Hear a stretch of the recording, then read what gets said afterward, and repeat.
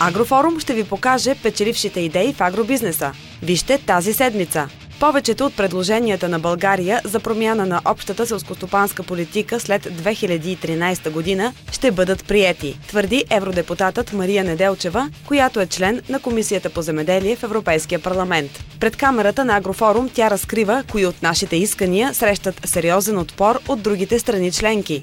Можем да настояваме за изравняване на субсидиите от момента, в който покажем, че сектора е реформиран, че той функционира, че тези пари се освояват.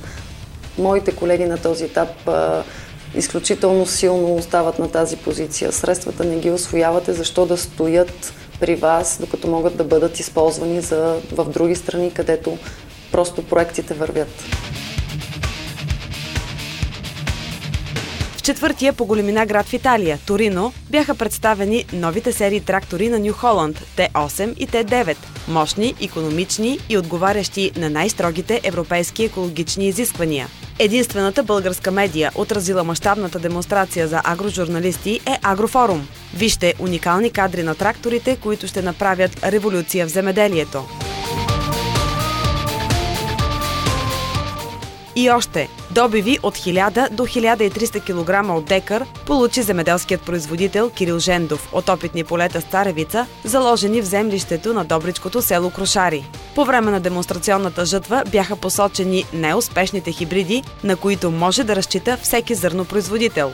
В този регион най-добре се представя PR37H24, като един отлично балансиран и пластичен хибрид. А моя фаворит е 35F38, един много добър хибрид, много пластичен, 520 по фал. Смятам, че той ще даде едни от най-високите резултати.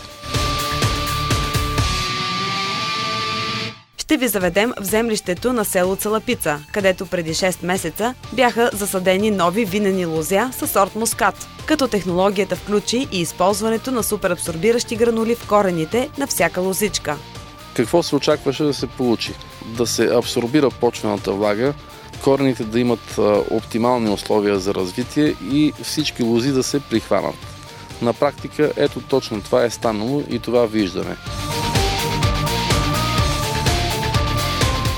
Жътвата на германски хибриди слънчоглед, заложени на опитно поле от земеделска кооперация Победа в град Кнежа, даде оптимизъм и на фермери, и на агрономи, че изпитаната селекция е първото и най-важно решение за всеки зърнопроизводител. От първият хибрид видяхме какъв е резултата. 395 кг слънчоглед. Преди 5 години в България никой не си е мечтал да жене 390 кг слънчоглед. Тогава добри добиви бяха 250 кг. Виждаме къде отиваме нагоре. Не пропускайте и какво представлява обеззаразяването на почвата, кога и как се прави, какви ефекти постигате. Отговорите тази седмица в предаването Агрофорум. Вижте още, през есента се провеждат едни от най-важните растително-защитни пръскания на рапицата. Агрономите предупреждават. Рапицата има дебел восичен налип и по принцип, ако се пръска само с препарат за растителна защита и вода, препаратът остава на капки и не се освоява на 100%. Какво е решението? За да разберете, гледайте предаването Агрофорум. 30 минути динамика, новаторство, стил.